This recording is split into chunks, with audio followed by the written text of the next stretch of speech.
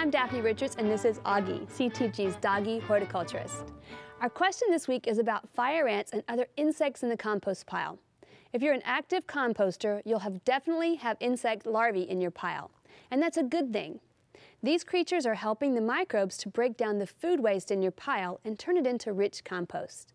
Large off-white grubs are very commonly found in compost piles, and people often mistake them for the same grub that damages our lawns.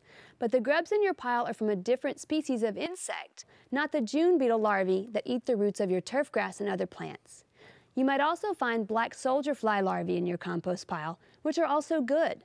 The insect species that are attracted to lay eggs in your pile will be influenced by what you put in it. If you have more kitchen scraps and food waste, you'll likely have more insect larvae. If you're only composting yard waste, you may not see as many creepy crawlies. But fire ants are another matter. Fire ants are actually building their mounds in the nice, soft, organic matter of your compost pile. Although they're doing some aeration and technically aren't hurting anything in the pile, you most likely still don't want them living there, since they'll see the pile as theirs, not yours. If you have a mound of fire ants in your pile, it indicates that you need to turn and moisten the pile more often. If you're regularly turning the pile, the ants will have no time to build a home. In the awful summer of 2011, I didn't turn my pile as much as I should have, and I came out one day to discover that a very large colony of fire ants had moved in. I got stung a few times when turning it, and it took a few turns to get the ants to move away, but they eventually did. So there's no need to use any chemical fire ant treatments in this situation.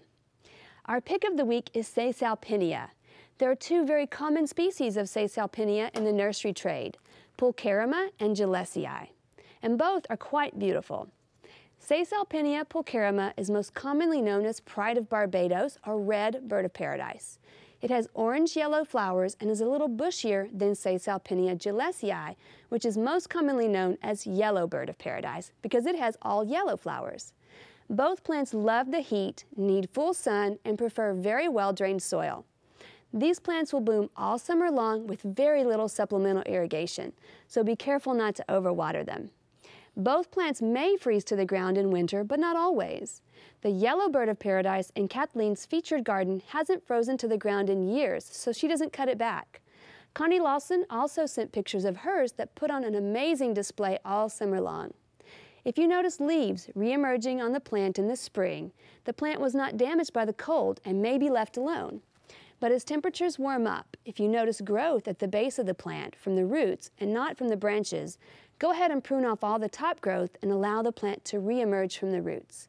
Pride of Barbados, the orange-flowered one, is more frost tender and does freeze to the ground in our winters more often than not. Both plants can get up to about 8 feet tall, but Pride of Barbados is generally a little shorter and bushier, mostly due to the fact that it freezes to the ground most years. And both plants get about four to six feet wide, so give them plenty of room. Both plants also attract hummingbirds, butterflies, and are considered to be deer resistant. Another pick of the week comes from Susan Brock, who found cardinals nesting in her knockout roses.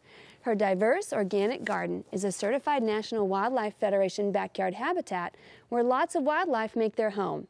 Thanks for sharing this wonderful photo, Susan. To do this week, it's probably time to do a little garden cleanup. Those spring flowering plants have now gone to seed or have spent blooms, and removing them will help spruce up the garden and encourage a bit of rejuvenation.